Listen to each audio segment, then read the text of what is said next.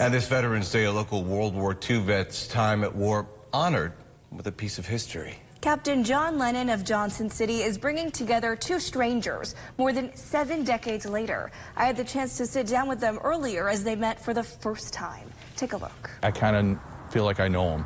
On this Veterans Day, Now, where's your dad? Right there. Yeah. at the Vestal Hill Cemetery, two strangers meet for the first time. Hard to believe that after all these years. 33 years. Ken Fortier and John Lennon Jr.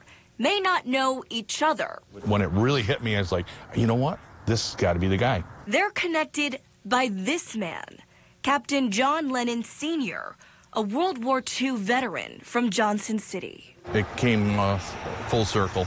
Fortier found the vet's book more than three decades ago. And I said to myself, you know what? I'm going to try to find the owner and see if they want it. And he did, 33 years later. A Google search brought him to Lennon's son. It's been through the war.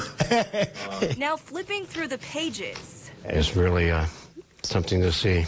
Lennon is piecing together a part of his father's life, hidden I didn't know anything like, else like this existed or was around, you know?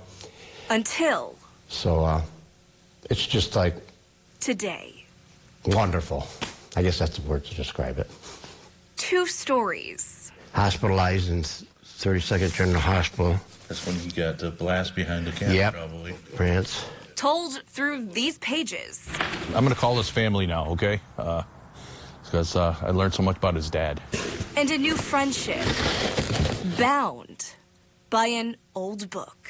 It's something you didn't know you had, but yet it was here.